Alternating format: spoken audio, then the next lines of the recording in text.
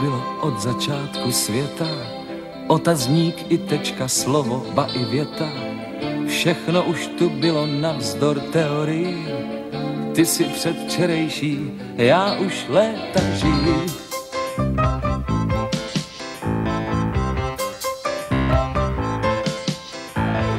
Všechno už tu bylo na truc evoluci, pětidenní kmeti i století kluci, pětidenní kmeti, mudrci blázni, románové lásky, i Zuzany blázní, až budete soudit všechno, co vám vadí. Vzpomeňte si v duchu na paragraf mládí. Vzpomeňte duchu, kam vás voda nesla, než jste v mlze našli ten správný konec vesla, než jste v mlze našli. Ten správný konec vesla,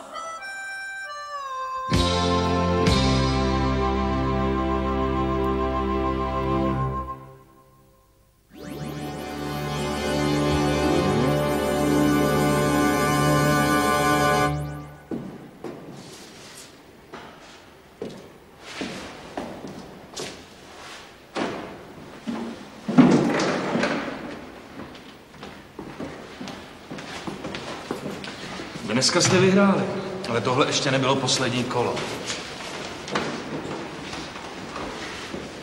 Žádná právnická myš mi syna neveme.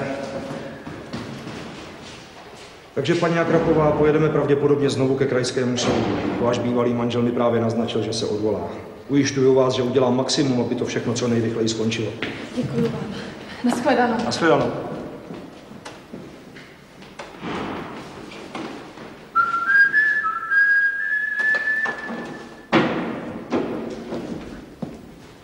Advokáti u sebe nenosí služební zbraň, když mají co dělat s takovýma frajerama? Ne, ne, ne. My trénujeme rychlé starty a hlavně pamatujeme si vaše telefonní číslo. Co tady pohledáváš? Chytám lelky. Jo. A co provedli? Když se mnou teď hned půjdeš do mé detektivny, tak tě srandičky přejdou. Něco spatříš. Tak co tomu říkáš?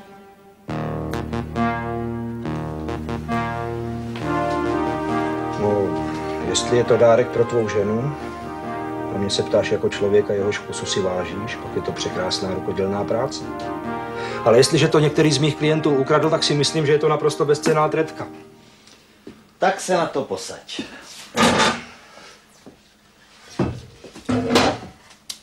Dnes ráno mi to přinesl správce zámku. Našel to včera večer v bývalém šárčině pokoji pod madrací. Doufám, že to máš na svém seznamu. Já jsem ten pokoj osobně několikrát prošmédil. Prošmédili ho i naši technici. Tohle se tam muselo dostat až někdy později. A klíče? Dvoje. Jedny máme tady a druhé správce zámku. Nevím, jak je to podle kriminalistických příruček, ale kdyby se zeptal mého malého Davida, tak by ti řekl, že ten správce si na tom stojí podstatně hůř než Šárka. Hmm. Jenomže oproti Šárce má tři výhody. Za prvé se k ničemu nepřiznává. Za druhé, proč by mi nosil šperk, který předtím pracně ukradl. A za třetí mám perfektní alibi. Že se nepřiznává není nic jiného než přitěžující okolnost. A alibi má Šárka taky, že se k němu sakra nechce přiznat. Ale v to si snad ani nedoufal, že bych přehlédl fakt, že jedny klíče jsou u tebe a druhé u toho správce. Já vám už po páté říkám, že jsem byl v Liběchovicích na svatbě synovce. To je, jak jistě račte znát, dobrých 60 kilásků voce. A víc jsem ten klíč vůbec neměl, protože... Prostě já klíčema otevírám pivo a někdy se mi ulomí zoubek, tak jsem ho dal odpoledne jednomu zámečníkovi tam od nás. Jak se ta spona dostala pod tu madraci na mou duši, nevím a je mi to fuk. Šéfe, nezlobte se, že ruším, ale chci vám to oznámit co nejdřív, aby potom později kolem toho nevznikly nějaké problémy. Dělám po Vánocích zkoušku a mezi svátky bych si chtěla vybrat studijní volno. Máte na to právo. Zavolejte mi sem nejdřív paní Karlu a potom doktora Němčák. Paní Karlo, chtěla jste si mezi svátky brát dovolenou? Ano, beru si ji každý rok. Tak letos to nepůjde. Říkám vám to záměrně už teď, abyste se podle toho mohla zařídit. Zařídit jak? Zařídit. Vždyť jsou prázdniny, Provozní důvody to letos prostě nedovolují. Ale několik let to dovolovali. Teď to najednou nedovolují. Davide, oba přece dobře víme, že tady nejde o provozní důvody, ale o váš kapric. Všechno, co jsem vám chtěl říct, jsem vám už řekl. Co mám na jazyku teď, si v zájmu nás obou raději nechám pro sebe. Můžete jít. Tak vám pěkně děkuju. Za pochopení.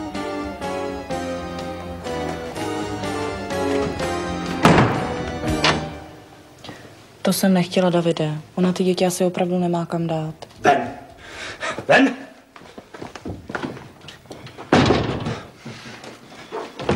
Nějaké problémy? Žádná z nich není schopná podívat se dál než před vlastní kurník. Podle jejich mínění budou o svácích advokáti psát žaloby propisovačkami.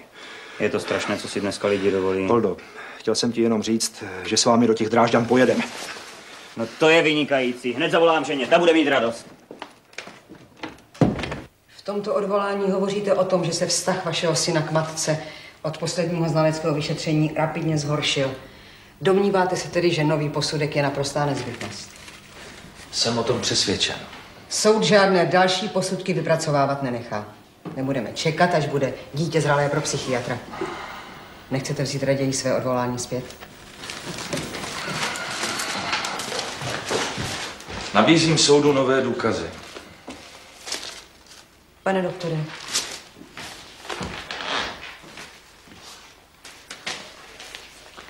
Ano, vážený pane doktore. Jsou to tři nová psychologická vyšetření mého syna. Od nejpřednějších odborníků.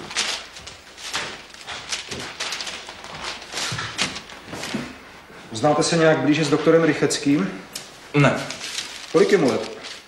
v mých letech. A doktoři Chalupa a Nebeská? Nevím a ani mě to nezajímá. Prosím soud o přerušení jednání, asi tak na 10 minut. je to nutné, tyto důkazy musíme brát v úvahu. Je to nutné. Jednání se přerušuje.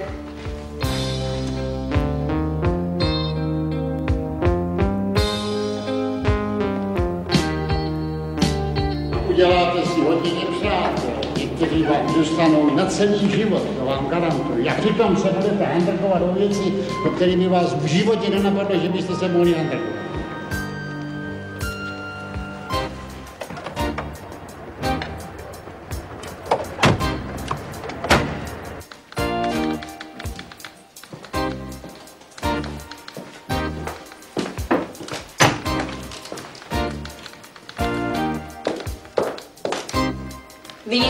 Někoho hledáte? My se ještě neznáme, že? Ne. Děvčátko, já jsem Exner a jdu za Davidem. Jenomže soudruh vedoucí není přítomen. A i kdyby byl, musela bych vás objednat. Děvenko, vy asi nevíte, že David je můj zeď. A tohle je můj přítel, inženýr Chramosta, náměstek ředitele keramičky, potřebuje právní poradu. No tak já vás objednám. No to snad ne. Váš úprk z této síně nevěstil nic konvenčního. Na chodbě je telefon. Podívejme. Oznamuji soudu, že zde přítomný pan doktor Akrap je nejen stejný ročník jako doktor Rychecký a doktorka Nebeská, ale dokonce studovali na stejné univerzitě založené otcem vlasti Karlem IV. Máme si to ověřovat? Není třeba. Známe se. Máme zjišťovat, zda vaši přátelé dítě vůbec viděli. Beru své odvolání zpátky. Tak už to skončilo. Vyhráli jsme. Vyhráli. Definitivně.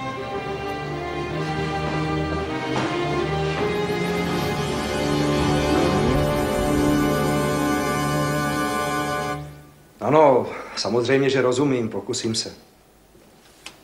Ano. Ano. Ne, součástky nepotřebuji. Slyšíš to? Samozřejmě, že se přihlásím. Jistě, vynasnažím se. Ano, říkal mi už několikrát. Dobře, jak si přejete. Naschledanou. Některé belovy přístroje by měly mít jenom na slouchátku. Ale nech si to. Nenechám. Víš, co říkal Gretzman? Jsem advokát, ne sluha. Nech si to. Nenechám, protože ty máš diáři už jenom samou smetánku. Neděláš už taky zabony? Křivdíš mi. Mimochodem, chtěl jsem tě pozvat na úterý k Techmanovi. Do salonku, každé úterý. Ale, takže truc úterky. Když jsem vám je zakázal, tady slízáte se u Techmana. A kdyby to bylo na trus, tak bych tě přece nezval. A nešlo ti spíš o to pozvání, než o mou přítomnost? Já ti slibuju, že už od tebe nikdy nebudu očekávat dobrotivost. Nebo snad dokonce velkorysost. O co kráčí, šéfiku? Já mám žízeň jako mamut. Pojďte. S advokátem jsem v restaurantu ještě neseděl. Vy jste udělal správci ze zámku nový klíč? Už asi pátý. Ten kun s něma otvírá lahváče a úplně amortizuje. Nechápe, že nejlepší pivo je točený.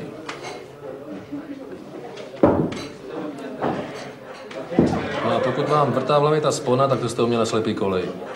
Dodnes nevím, kde ta holka na zámku bydlela a nelituju to. Kolik platím? No jestli máš na mysli to krkolomné zjišťování, kdy se narodili přátelé tvých protistran a s kým chodili do školy, tak to bude sice drahé, ale chvíli to počká. Dvě hodiny tě marně scháním po celém Martinově. Jak po tobě můžou chtít, aby si našel půl druhého milionu, když nedokážeš najít ani vedoucího advokátní poradny? Úterý v 6 večer potřebuju na silnici k rekonstrukci obhájce. Poslouchej, odkud může takový zámečník z muzea, který údajně měsíc nemluvil se správcem zámku, vědět o tom, že se našla ta spona? Jak to bude s tím obhájcem?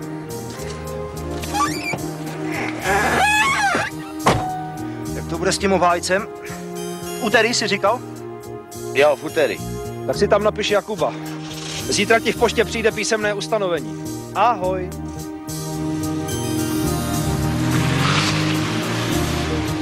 Jakuba bych taky rád viděl. Musím mu vyprávět, jak soudní rada Petrišin soudil nějakého Dandu Propotu. Už by to měl být. Jakub chce být totiž informován o slavných činech předků. On si to snad zapisuje, nebo co? Petrišin, už jsem o něm taky slyšel. To byla legenda místního soudu, co? No a jak? Já už jsem ho taky znal jenom jako koncipientský zelenáč. Ale to s tím Dandou, to bylo jeho parádní číslo. Ten Danda totiž celé vyšetřování tvrdil, že je umělec a ne pobuda, protože hraje na harmoniku a že bere honorář nikoli v žebrotu. No, nikdo to samozřejmě nebral vážně, jenom soudní rada Petrišin. Přerušil líčení, poslal toho Dandu domů pro harmoniku a potom musel hrát podle záludných přání soudu. Po čtvrt hodině rada Petrišín koncert přerušil, prohlásil, že obžalovaný nástroj plně ovládá, zprostil ho obžaloby a vyplatil mu. Možná se mi to zdá, ale moudrých lidí snad dneska ubývá. Nebo se bojí svou moudrost projevit, aby jim třeba někdo nevyčetl, že nedodržují předpisy. Jenže soudce musí být moudrý. Jinak by byl špatný soudce a špatný soudce riskuje, že skončí život sebevraždou. To je pěkné. To je z vás? Dobrý večer. Dobrý večer. Dobrý večer. A nevztahuje se to i na vedoucí advokátních poraden? Ale pane kolego, za prvé jdete pozdě a za druhé o nepřítomných zásadně nehovoříme, jestliže nevíme, nemohou-li se náhodou objevit. Dedukuji, že obojí spolu úzce souvisí. A pokud jde o našeho vedoucího, ten vás dává všechny pozdravovat. Srdečně. Je to váš kamarád? Právě proto. Dostal jsem od něho úřední dopis, ve kterém mi zakazuje hrát ochotnické divadlo. Ano, dostal jsem podobný dopis. V tom smyslu, že bych měl nechat cymbál. V opačném případě bude muset požádat nadřízené orgány, aby mi podobnou činnost zakázali. Z nějakých nejasných příčin to snižuje prý důstojnost advokátského stavu. A co vadí Davidovi na cymbálovce a divadlu? Komplexy. Komplexy s jeho hlavou. To je právě ono. Komplexy trpí lidé inteligentní. Absolutně sebevědomá je jenom tupost. Když jsem ten dopis dostal, rozpálil jsem se doběla spravedlivým hněvem a chtěl s tím běžet na združení. Ten, kdo dal dohromady pojmy hněv a spravedlnost, musel být úplný idiot. No právě. Zítra napíšu Davidovi dopis, když už jsme spolu začali místo mluvení korespondovat, ve kterém nebude nic než citace zákona o advokacii. K vykonávání činnosti publicistické, literární, vědecké a umělecké nepotřebuje advokát souhlas zaměstnavatele. Dovozují tím, že mi snad takovou činnost ani zaměstnavatel zakázat nemůže. No, vida krátké nahlédnutí do zákona bývá často užitečnější než dlouhé a učené disputace. Myslíte, že to David přehlédl? Co? Osamělý žlučovitý stazec. David? No, zas tak moc osamělý není. Motá se kolem něho Němčák a pomáhá mu z malých problémů dělat velké. Mu je pak pomáhal ušlechtile řešit. Vy jste na kamaráda jako na válečního zločince. Jeden můj přítel, s nímž každý týden v sauně rozhodujeme řeknu, o dalším běhu světových dějin, říká, že každá válka je nesmysl. Válka světová jako válka v advokátní poradně, válka prohraná anebo vyhraná. Nebraňte spravedlivému hněvu a jednejte teprve tehdy, když jste schopni jednat stručně, jasně a bez urážek. Pane kolego, vás je škoda, Martinovi. Vy jste měl řečnit v OSN. Diogenovi stačil soud.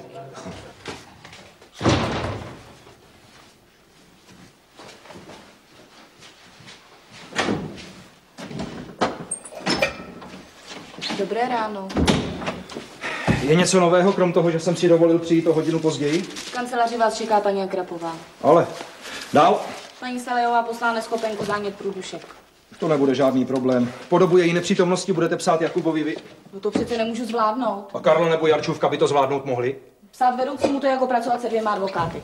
Výkazy, ustanovovačky, hlášení, hodnocení a to měšky. Ke všemu čekají zkoušky. Když si odpustíte všechny cukrbliky s Jakubem, stihnete možná i korandu, až Karla zase jednou neutrefí vzpomenout si, kdy je u nás vlastně pracovní doba. Dobrý den.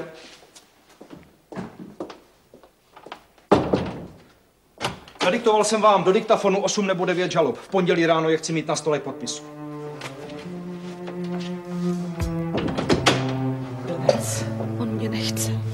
Vy jeho snad ano? Buďte ráda, že jste se ho zbavila. Nebo se snad budete znovu brát? Malý Pepík mě nechce. Jak jste na to přišla, co je to za nesmysl? Akra, A co pak Akra? Ten to přece vykřikuje do světa už několik měsíců. pozval mě k sobě, abych se přesvědčila sama. No, A když jsem přišla, tak Pepík mě říkal, paní vy.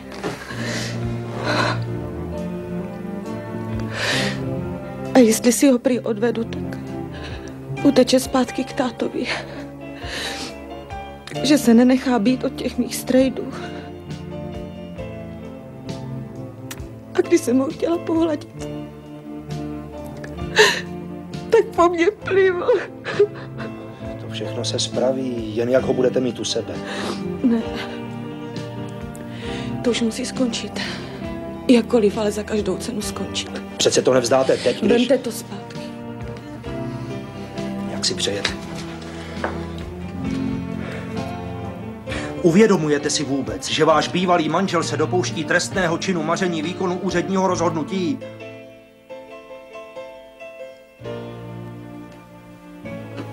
Paní Akrapová, počkejte, počkejte. Přece to nevzdáme. Budeme bojovat dál, Pepík za to přece stojí. Já už nemám sílu. Ale já ji mám. Stáhněte to. A děkuji vám za všechno.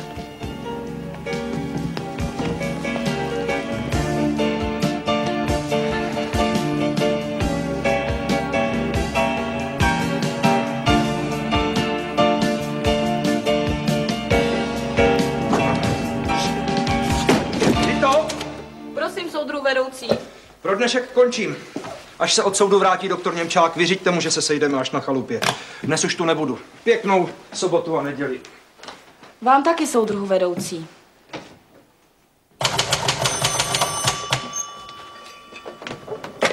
Advokátní poradna. Bohužel, pane. Soudruh vedoucí je služebně vzdálen. Prosím. Kde je David? Služebně vzdálen. Na chalupě s tchánem. A teď už asi taky s Němčákem. Oni si na to vzali dovolenou? Kdyby ti dva měli mít dovolenou vždycky, když jsou služebně vzdálení, tak do dovolené mají po dovolené. Co pak to nevidíš? To už není ten David, o kterém jsem tady slyšela jen samé legendy s diagnozou advokát. Tak pozor, tohle neříkej. To pořád ještě je, ale jenom když se mu chce. Počkej. Dokáže pro klienty první, poslední. Snad dřív. Dnes už má přepad nejenom na premiéry. Pořádá honosné večírky pro Němčáky, jí pije, baví se. Asi všechno to dělá naprosto seriózně. Jenomže já ho znám 13 let. Poslyšte, mladíku, vypli jste Davidův kamarád. No něco jako brácha. No tak nohy narabená za ním, ať neprovede nějakou pitomost. Já mám strach, že se naše další setkání už neobejde bez facek. Chlapče, vlastní funkce je tím největším řemenem. Ta člověka přímo drtí. A přitom ti nikdo ani nepoděkuje. Víte, pane doktore? Zajisté, pane řediteli. Mohu vás však ujistit, že David je všeobecně oblíbený šéf. A nebýt jeho velkorysosti, dávno by se u nás lidé neměli tak, jak se mají dnes. Kam jdeš? Já bych ti rád pomohl jako tvůj bývalý školitel a nynější šéf. Ale musel bych aspoň rámcově vědět, co s Exnerem máš. Co pak, Davide? Nic. Jenom trochu vzduchu. Ale klidně pokračujte, já to snesu. Neměl bys raději počkat u sebe. Já tě potom zavolám. Když bylo nejhůř, tak jsme spolu spávali i v jedné posteli. Jako študáci. Tak proč bychom se teď nemohli podělit o tu jeho kancelář? No jak myslíš? Dobrý den. Máš něco na srdci? Mám. Tebe. Ale podívej. Ano, tebe. Protože se mi vůbec nelíbí, jak to tady vedeš. Tak dost. O mě si promluvíme později, teď je totiž řada na tobě. Jestliže advokát nezajistí obhajobu svého klienta a odejde se soudit do jiného okresu, to je podle mě na kárné řízení. Cože? Ano, minulý týden v Prostějově, kde si učinil tak vtipná odhalení o vlivu mého tchána.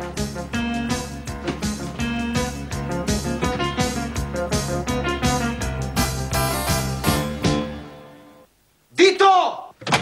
Ty neslyšíš? Soud musel ve středu odročit hlavní líčení, protože se bez omluvy nedostavil. Ale jak je to možné? Zapomněla jsem ti to napsat do diáře. Promiň. To se mi snad jenom zdá. Jakube, teď vidí, že nevím, kam dřív skočit a Davidovy písemnosti jsou přece jenom důležitější. Tak podívej se, milá krásko. V samotné práci a v klientských věcech jsme si s Davidem rovní. Naprosto rovní. Vedoucí, nevedoucí. Rovni! Tak za to všechno, co se tady v tomhle podniku děje, můžeš taky ty!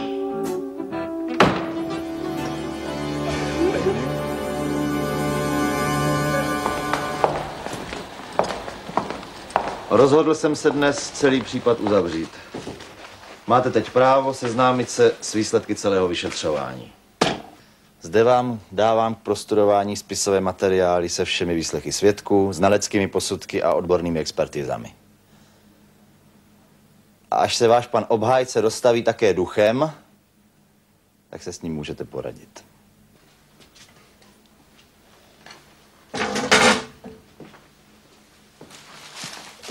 Netvoříte také někdy pod pseudonymem Dima Vnuk? Dima ne, ale Irásek, ten toho napsal ještě víc. Prosím.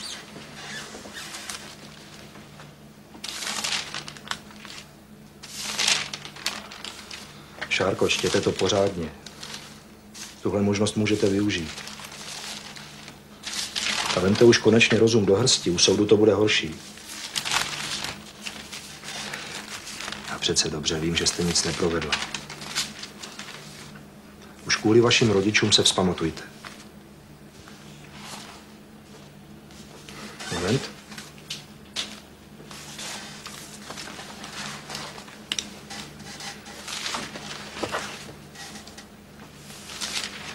Blbec. Idiot. To je jako kdo? Jako já.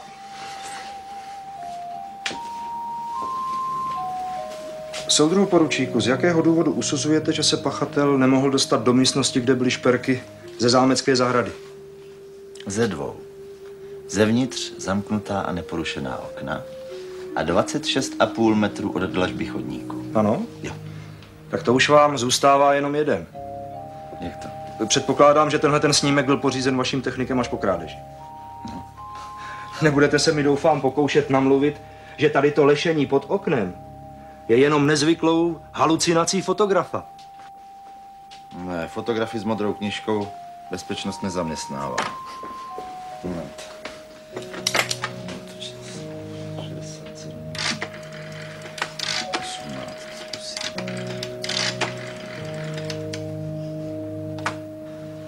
Tady bezpečnost, poručík Čivík.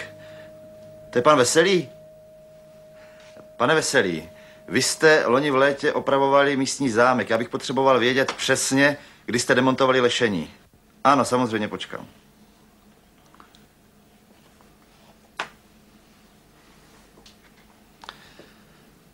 Ano, slyším.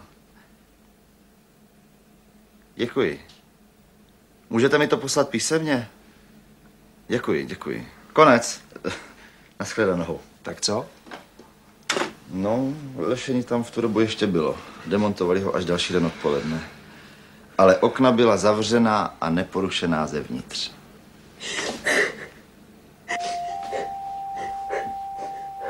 Stalo se vám něco? Není vám dobře? Měla bych mluvit jenom s panem doktorem.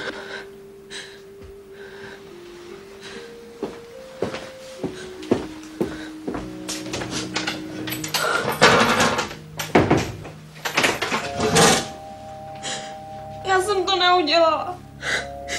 Nezlobte se na mě, ale já jsem nevěděla, že je ženatý. Ale kdo je ženatý? Co to s tím má co společného? Míša! Teda pan Borek. Když jsem tam ráno přišla, hned jsem věděla, že to byl on. Našla jsem u jedné vitríny jeho krabičku zápalek. Předtím si na ní poznamenával číslo k nám domů. Asi si svítil sirka má, pak je tam zapomněl. A jak se dostal dovnitř? Já nevím. Asi po tom lešení. Když jsem tam ráno přišla, viděla jsem, že jsou šperky pryč. Chtěla jsem to co nejdřív oznámit. Ale pak jsem našla tu krabičku a viděla, že je pootevřený okno. A tak než jsem to šla oznámit, tak krabičku jsem vyhodila do popelnice a okno jsem zavřela. Pro boha, proč? Aby to nebylo na něj. To okno si nechal otevřené už nejspíš odpoledne. Byl za mnou skoro každý den. Říkal mi, že se po prázdninách vezmeme. Prý na Karlštejně. A tady v těch papírech je napsaný, že je ženatý. A mě měl jen tak. Na prázdniny. Holka pitomá, to vám to všechno stálo za to. To jste ho měla tak ráda. Já ho mám pořád ráda. Když jste mi u toho prvního výslechu řekl, o kolik let by mě hrozilo méně než jemu, chtěla jsem to všechno vzít na sebe. Myslela jsem si, že to pochopí a že na mě počká. Proto jsem taky musela zapřít toho osla punčocháře. On u mě tu noc opravdu byl. Ale nic se mezi náma nestalo. Bála jsem se, kdyby se to Míša dozvěděl.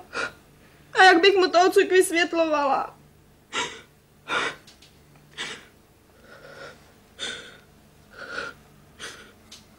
Zaplať pánbu, že nemám dceru.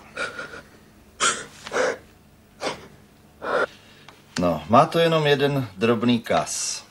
Jak váš pan obhájce velmi dobře ví, pan Michal Borek má na kritickou noc to nejperfektnější alibi, jaké si lze vůbec představit. Jenomže to je pro vás jenom taková drobná vada na kráse, že?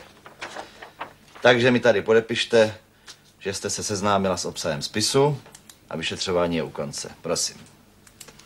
Zítra předám spis prokurátorovi k podání žaloby. Navrhuji zastavit trestní stíhání. Prosím, jak je libo. Skončili jsme.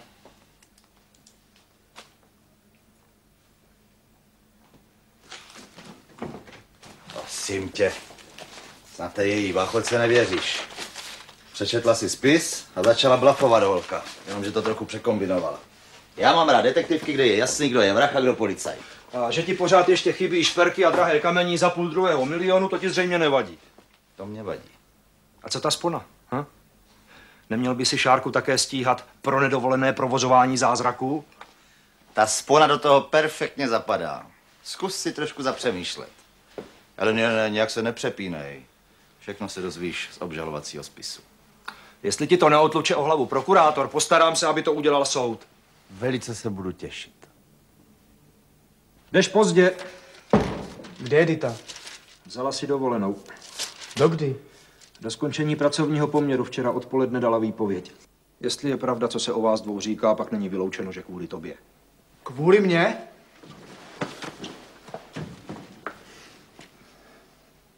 Povolujou ti nervy. Je to vidět i na práci. Nechápu, proč jsem ti už dávno nepolámal žebra. Koukám, že ti na ně záleží víc, než jsem si myslel.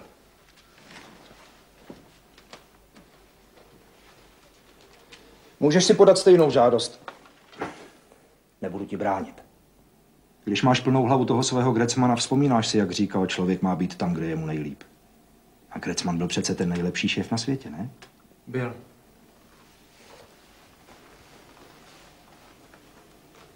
Když už mluvíme o šéfovi, musím ti říct, že téhle poradně by líp šéfovala uklízečka než ty. A to sem chodí jenom na půl hodiny denně.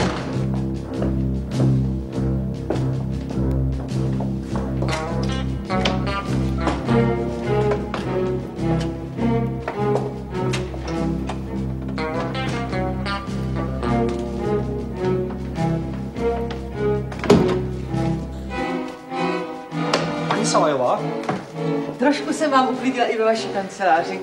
Nechtěla bych vám zvyšovat krevní tlak, ale tady ta byla prostě nemožná. Zavolejte mi paní Karlu. Než někoho seženeme, bude psát i Jakubovi. Odešla v 11 hodin a nevyšla bych z údivu, kdyby se ještě dnes vrátila. Kdo jí to dovolil? Volali ze školy, že si tam pro kluka přišel totálně opilý manžel. Nebyl prý zase celou noc doma a ráno pojal úmysl vychovávat. A uvážili jste, že souhlas k opuštění pracoviště jim můžu dát jenom já? Uvážili, pochopitelně, jenže, promiňte, já jsem si tady nechal někde hořící cigaretu. To dělám ještě náhradní. Pochopitelně, že uvážili. Jenže v diáři jste měl zapsané celé dopoledne stání a v sauně, kde jste byl s kolegou Němčákem, nemají telefon. Jak si můžete dovolit sekretářku, která píše pro dva advokáty, nechat pracovat jen na poloviční úvazek?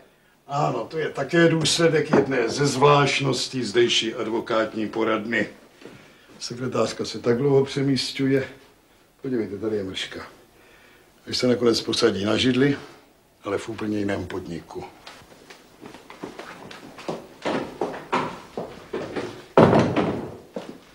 Paní Salajová, dejte si do stroje papír, budeme psát výboru. Návrh na písemné napomenutí Karle tady je. Veřejnou důdku. A rychle. Beru si dovolenou celý týden. To bude nejlepší. Až budete soudit všechno, co vám vadí, vzpomeňte si v duchu na paragraf mládí. Vzpomeňte si v duchu, kam vás voda nesla.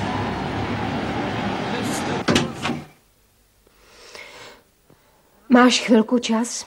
Podle toho na co? Chtěla bych si s tebou promluvit. Tak na to čas nemám. Mám dovolenou. Já už jsem si zvykla, že rodina je pro tebe zbytečná zátěž. Jaká rodina? Malého už jsem neviděl skoro týden. Neměj strach, je u našich. Někdy mám pocit, že našeho syna porodil tchán. Víš dobře, že je mu u našich líp. Jednou se ho na to zeptám, jenomže to už asi bude pozdě. Kdy tě skoro ani nevidí. To by jsou milejší cizí děti, o které se úspěšně soudíš. Co mu jednou řekneš ty? Jak mu vysvětlíš tu svou zaměstnanost? Ty přece pracovat nemusíš, někdo tě k tomu nenutí. Jak Davidovi vysvětlí, že na něho nemáš čas?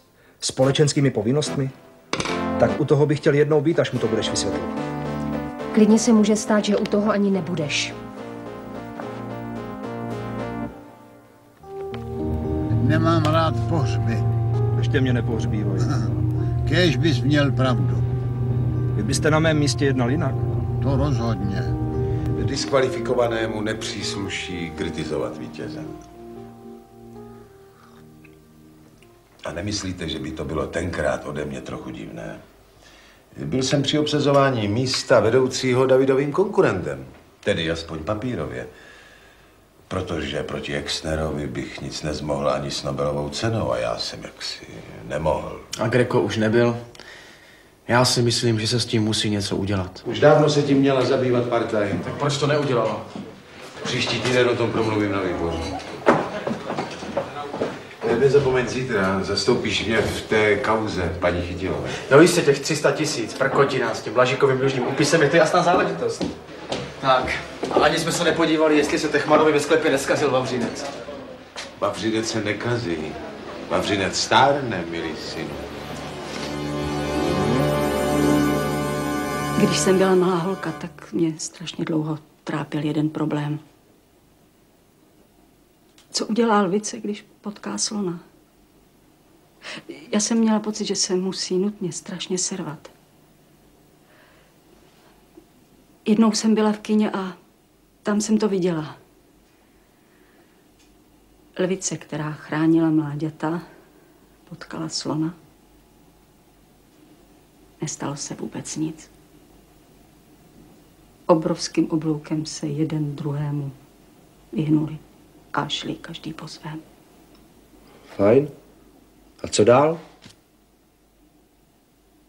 Prosím vás, Davide, dejte mi stejné doporučení jako dítě. Kam byste chtěla jít? Dita teď pracuje ve strojírnách. Na právním oddělení našla mi tam místo. Má to něco společného s civilní obranou. Nebo pro mě, za mě třeba s civilním útokem. Jenom bych odsud chtěla vypadnout co nejrychleji. A myslíte si, že vám tam budou trpět to, co já? Stačí, když budou trpět přesné vykonávání uložené práce. Tak, jak to oceňovali 20 let tady s výjimkou posledního roku samozřejmě.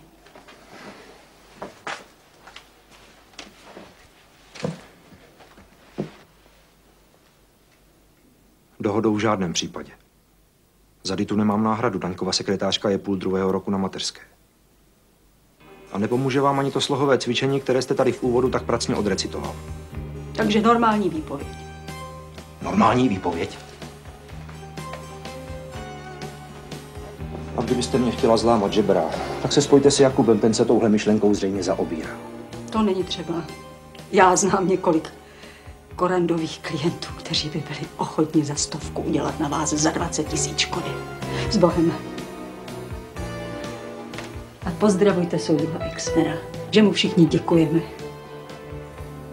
Dal nám šefa skutečně výjimečných kvalit. Aben. O to se právě snažím. Prosím vás, Jakube, nesnažte se mě to rozmluvit. Já potřebuji napsat perfektní výpověď. Abych se s tím naším břemenem nakonec nemusela ještě soudit. Jak jste to říkala, že když je ženské nejhůř, tak musí umět... eh, Jo, já vím. Vypnout prsa, zastrčit břicho, aby lidi neviděli, že tahám zadek po zemi, že jo? Děkujem. Děkuji. Ale ono to nejde, Jakube.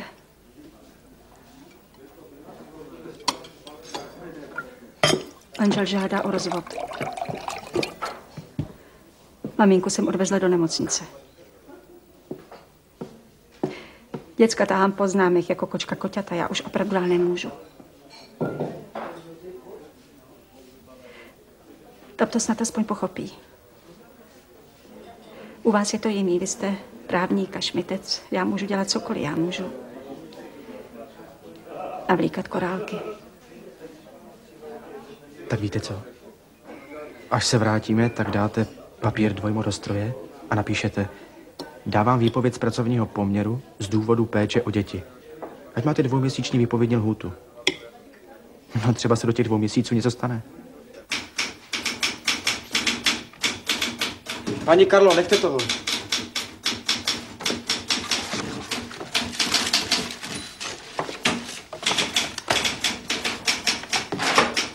Když jste nesla ten spis chytilové z Daňkovy kanceláře, nevytrosila jste z něho nějaký papír?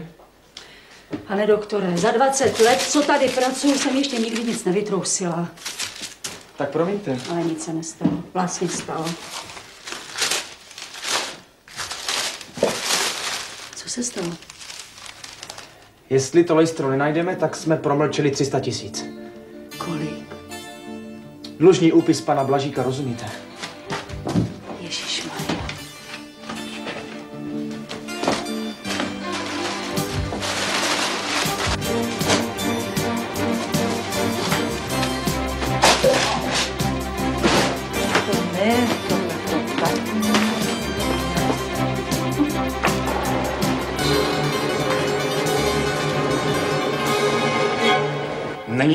Pane doktore? Ne, to, to nic není. To přejde. Něco jsem se vás ptal, pane doktore. Ano, já vím, vím. Okamžik. Pane doktore, mohl byste mi předložit to uznávací prohlášení, o kterém vypovídala navrhovatelka Chytilová a o kterém váš kolega Daněk Je píše v žalobě? Nemohl. Nemám. Prostě není. Prosím. Nic? Ani já. Já už jsem poslala telegram doktoru Daňkovi. Ne, rozhodně vám ji nemohu doporučit. Je to drzá, hašteřivá a arrogantní ženská. Navíc chronicky nedodržuje pracovní dobu. Nemáte zač na shledanou? Davide, potřebuji pomoc. Ode mě, soudruhu doktore? Didohá je průšvih jako hrom. Vím všechno. Ke kvalitě vaší práce, soudruhu doktore, jsem se vyjádřil písemně. Tak co ode mne potřebujete? Nic, soudruhu vedoucí. Spletl jsem si dveře. Můžete nám, pane svědku, sdělit, proč jste se dostavil s půlhodinovým spožděním? Věřte mi, abych vás sem zbytečně netahal, ale krajský soud trvá na dokonalosti. Někdo, někdo od soudu k nám volal, že se hlavně líčení nekoná, tak jsem... Ta informace byla nesmyslná a soud se k ní vrátí později. Budete slyšen v trestní věci zde přítomného obžalovaného Michala Borka, stíhaného pro trestný čin útoku na veřejného činitele. Ale toto tu, to není ten. Můžete nám, pane svědku, vysvětlit, kdo pak kde kdo není kdo? No, tenhle Michal Borek není ten Michal Borek. Jste si tím naprosto jist? No samozřejmě.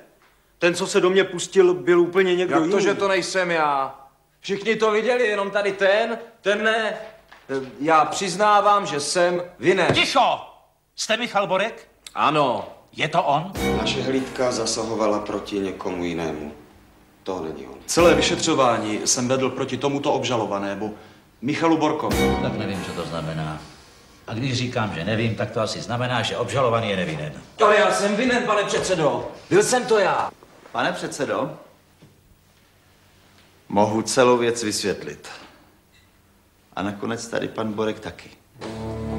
Ne, že by se mi dělali ze setkání s váma na dosti boule za ušima, ale opět jste si mě zvolil, tak jsem tady. Chcete mi vůbec něco říct? Kdybych tam neviděl to lešení až oknu s těma sbírkama, tak A co ta šárka? ta neměla ani tušení.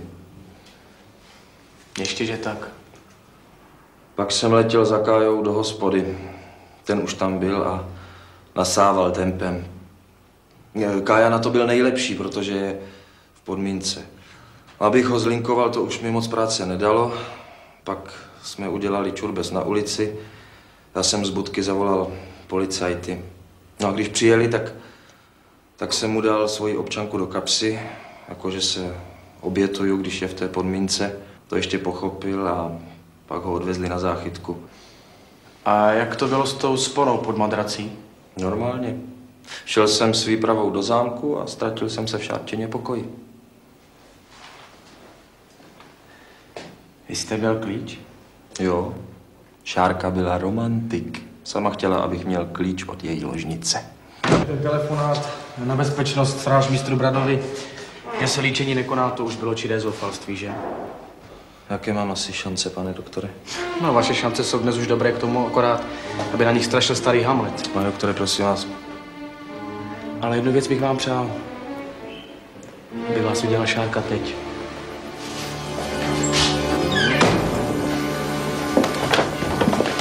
Ta Karla zase dneska nepřišla do práce. Vánoce přede dveřma, někdy si vygruntovat musí. Běž, běž, běž. Tak začneme, ano? Mohu zůstat? Zajisté, žádný předpis to nevylučuje. Doktor Daněk proti tomu nic nenamítá. Doktor Daněk porušil ty nejzákladnější povinnosti pracovníka advokacie.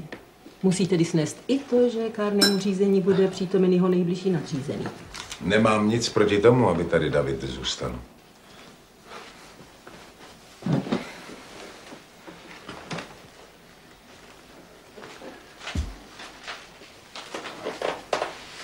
Udělal jsem chybu, tak si to tedy vypiju do dna. I s vedoucím.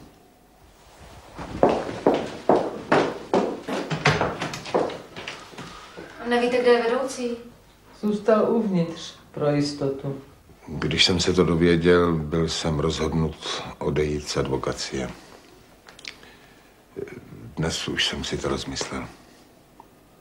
Přijmu jakékoliv vaše rozhodnutí. Zavolejte prvního svědka. Prohledali jsme, co se dalo.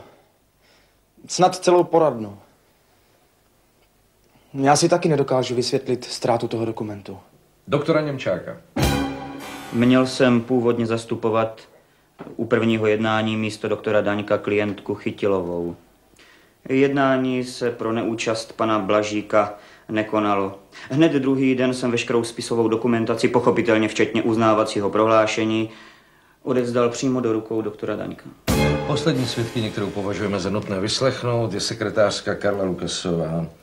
Ta má, jak je zřejmé, stále ještě víkend.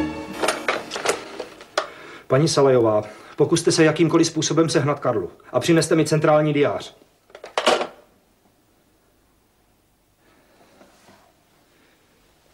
Můžeš mi, Oldo, vysvětlit, proč si tvrdil, že Zdaňkovi tehdy vracel spis i hned po tom odročeném stání? Nechápu, co bych měl vysvětlovat. Prostě jsem ho tak skutečně vracel. Tady to je. A teď tu Karlu. Prosím. To stání bylo ve čtvrtek. Druhý den byl pátek.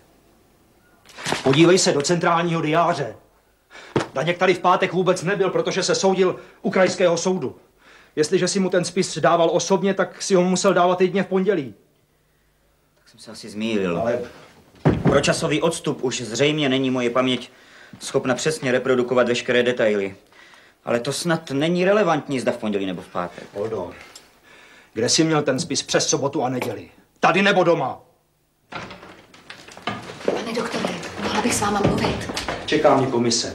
Víte, já jsem si na to vzpomněla teprve před chvílí, když se tady David, teda soudruh vedoucí, vyptával Němčáka, kdy vlastně vrátil doktoru Daňkovi ten spis paní Chytilový. Já jsem si totiž vzpomněla, že druhý den po tom odročeném stání telefonoval doktor Němčák domů manželce a ptal se jí, jestli doma nenašla nějaký papír. Víte to určitě? Ano, na něco podobného si vzpomínám, ale to se týkalo úplně jiného případu. A taky to bylo v úplně jiný den. Ne, ne, Oldo. Bylo to právě v ten pátek. Byli jsme tady s kolegou domluveni, že za mne vezme tohle stání v 10 hodin. Ano. Velice nakvap k tomu nakonec musel jít doktor Koranda, protože doktor Němčák tvrdil, že ho volají vyšetřováci k nějakému výslechu. Bude zapotřebí, abychom zjišťovali, zdali jste se toho dne nějakého výslechu u kriminálky zúčastnil. Když jsem šel k soudu, ten doklad ve spise byl. U soudu jsem spis ani nevytáhl z tašky, protože to bylo odročeno. Pak jsem se chvíli zdržel s jakýmsi člověkem, kterému jsem v kavárně poskytoval právní poradu ohledně dědictví. Takže do poradny jsem se už nevracel a šel jsem rovnou domů. Jak jsem tašku v předsíni odložil, tak jsem ji taky ráno vzal. A když jsem chtěl spis vrátit, prohlášení bylo v tahu. V které kavárně jsi byl po tom stání? V Granadě? Jak to víš?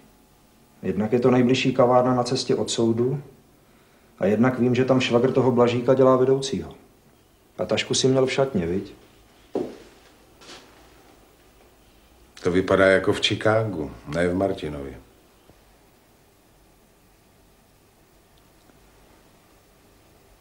Já se omlouvám.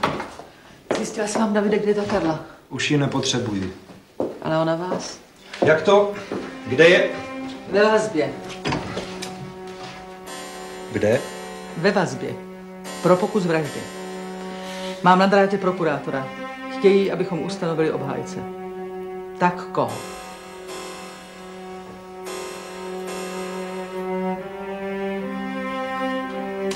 Tak mě.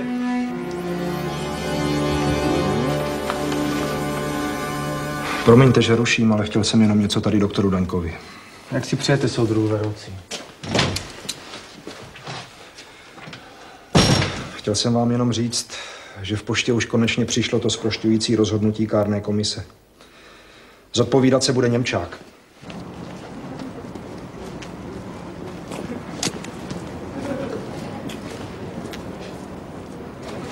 To je tento týden už po třetí, že? Ano. To je moje šťastné číslo. A udělejte si výpisky, když máte tak špatnou paměť. Víte, co by mě hrozně zajímalo? Proti komu jste tak zaujatý? Proti obviněné nebo proti mně? Zanechám vaši otázku bez odpovědi. To víte. Jsme malé město. Všechno se roznese.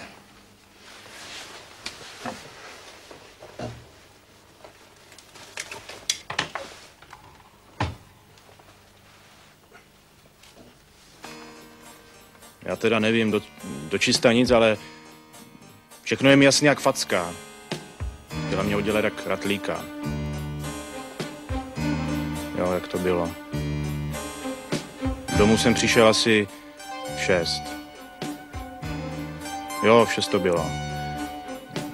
No a protože jsme už den předtím něco oslavovali, tak jsem šel hned do Hajan.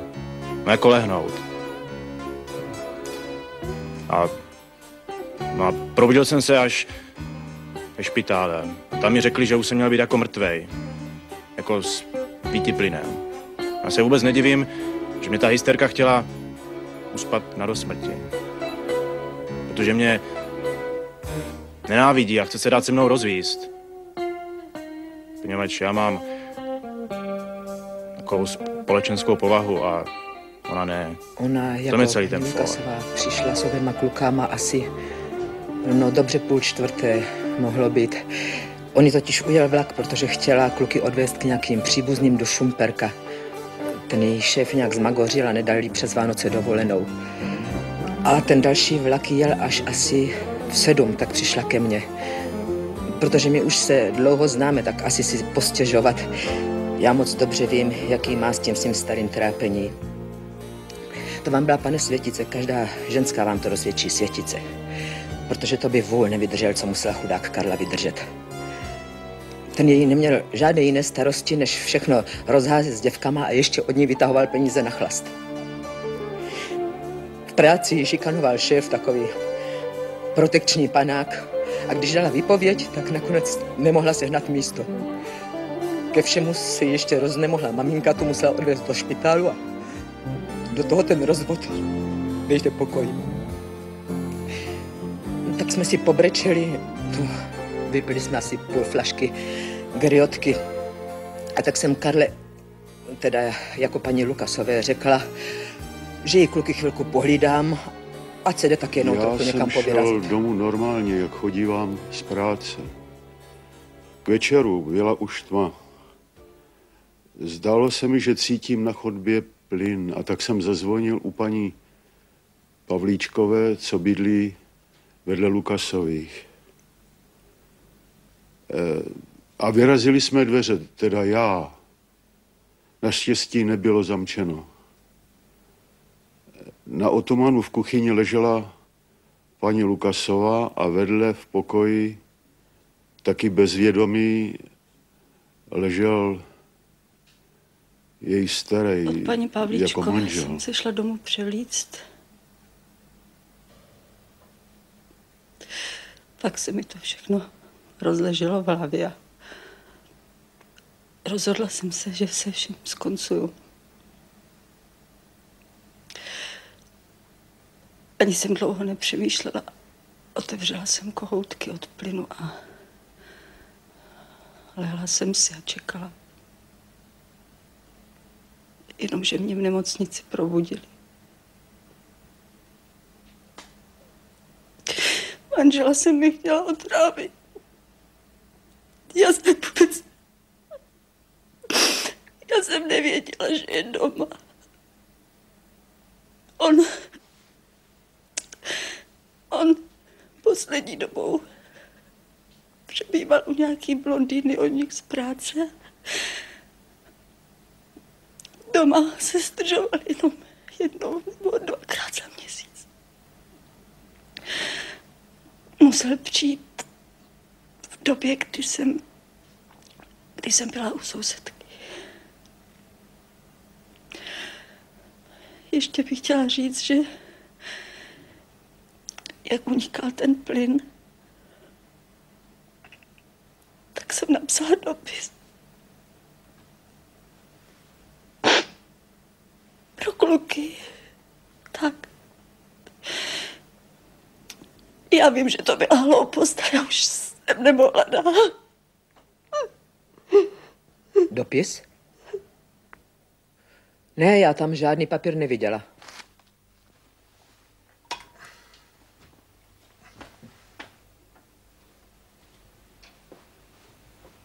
Pane vedoucí advokáte, vstávat.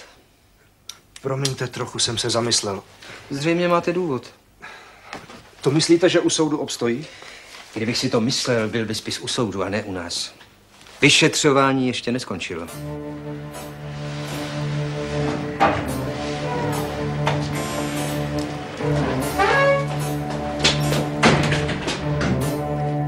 Ten nákup jsem potřebovala před třema hodinama. Teď si to klidně strč za klobou. Moje pracovní doba skončila teď. Kvůli uheráčku a okurčičkám pro tvého pantatínka a paň maminku přece nenechám klienty čekat. Na jednou. Tak dost.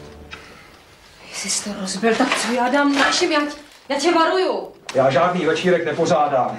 A jestli sem vaši chodí kvůli chlebíčkům, tak jim můžu poradit bufet, kde je rozhodně dělají líp. Moc si nevyskakuj, táta už se na tebe chystá. Já na něho taky. Ty jsi doporučil doktoru Němčákovi odchod z advokácie? Doporučil. A ještě doporučím. Jakým právem? Kdyby se papínek náhodou ptal, tak mu sdělil, že líbat ruce milostivé paní Exnerové a ubírat jí léta může být sice galantní, ale na advokaci je to málo. Ty se chováš jako zprostej hovát. To uznávám. Hlavně proto, že tobě to říkám naprosto zbytečně. Ale tvému tatínkovi to zítra zopakuji v jeho kanceláři. A ještě mu k tomu přidám, že jsem vedoucí advokátní poradny a ne nějaký intervenční úředník. Dovolíš? Čí zásluhu si vedoucí? Co si vlastně o sobě myslíš? Stačí, když pohnu malíčkem a už jim nebudeš. Jestli teď odejdeš, tak počítej s tím, že zamknu a nechám klíč v zámku.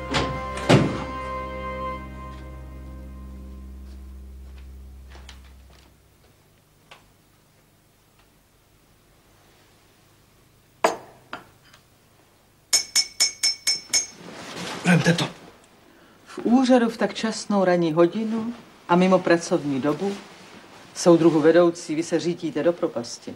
Taky mám ten pocit. Prosím vás.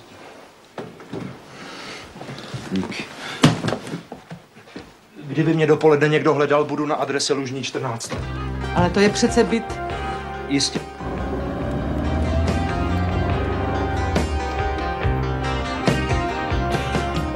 Tak to jste vy? Že se nestydíte.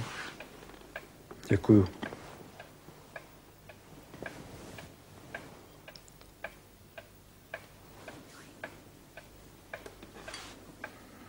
Kde jsou děti? Vzala si je k sobě babička. Pustili na revers z nemocnice. Lukas se tu ani neukázal. Od té doby furt oslavuje, že se znovu narodil.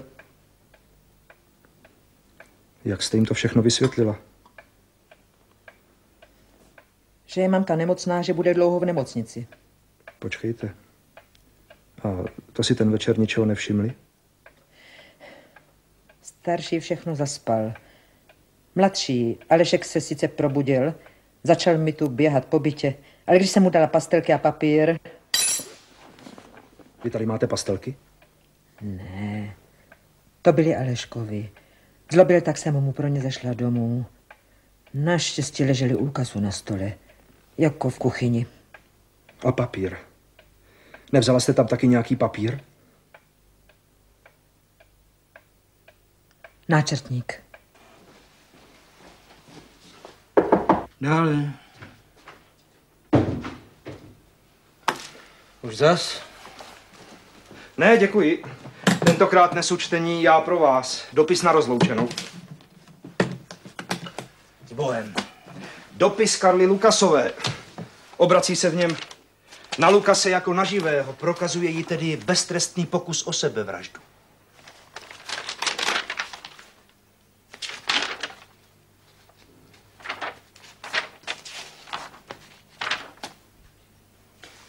Jste našel vy? Říká se, že máte teď jiné starosti. Tak tohle byla jedna z nich. Naschledanou.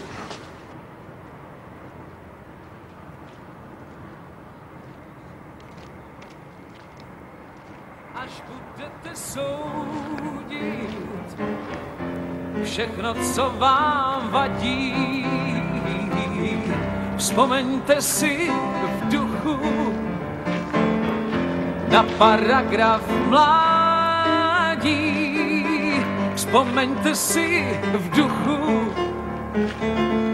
kam vás voda nesla, než jste v mlze našli ten správný konec vesla.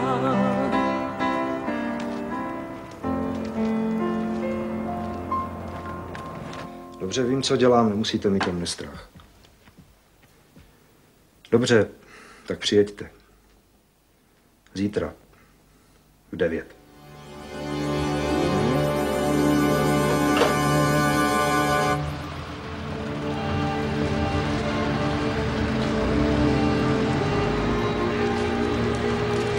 Advokát to znamená být neustále připraven pomáhat. A nebýt přitom žádný instrument než svoji děravou palici. A čas od času budete oporou pro člověka, který spáchal skutečně něco strašného. A lidská společnost se odřekla. A v takovém případě ani advokát nejde za slušného člověka.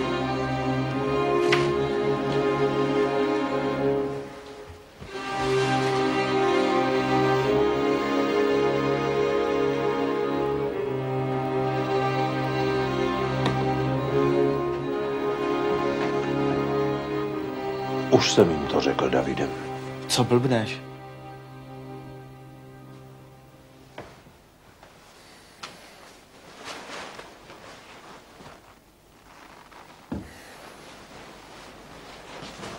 Právě jsem přestal blbnout. No dobře, ale v poslední době se zdálo, že... To je právě to. Zdálo se.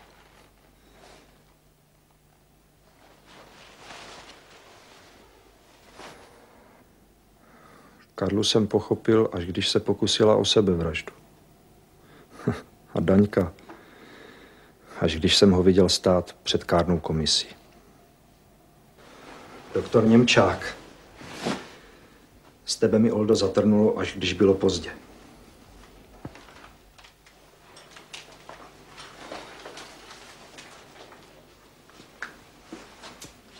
Stal jsem se dobrým šéfem v minutě, kdy jsem se rozhodl, že jim nebudu vůbec. Pane doktore, dlouho jsem přemýšlel o tom, co jste mi řekl, když jsem nemohl pochopit, proč jsem jiný jako člověk a úplně jiný jako šéf. Vzpomínáte si, co jste mi odpověděl, když jsem se vás zeptal, co mám teď dělat? Advokáta.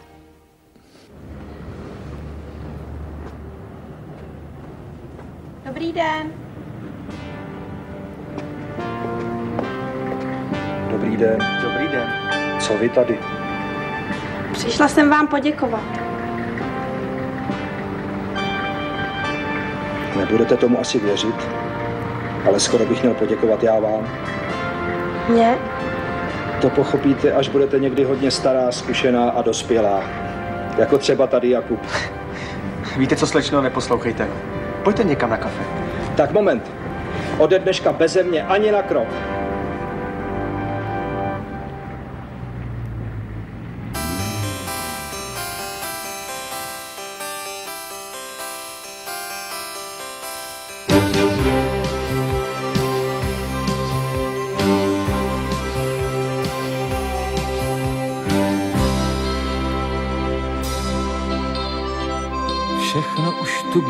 Od začátku světa, otazník i tečka, slovo, ba i věta.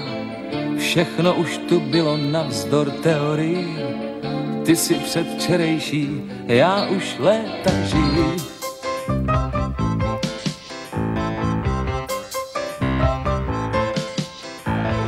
Všechno už tu bylo na truc evoluci, pětidenní kmeti i století kluci, pětidenní kmeti, mudrci blázni, románové lásky, i Zuzany v lázních, až budete soudit všechno, co vám vadí. Vzpomeňte si v duchu na paragraf mládí. Vzpomeňte si duchu, kam vás voda nesla, než jste v mlze našli ten správný konec vesla, než jste v mlze našli ten správný konec vesla.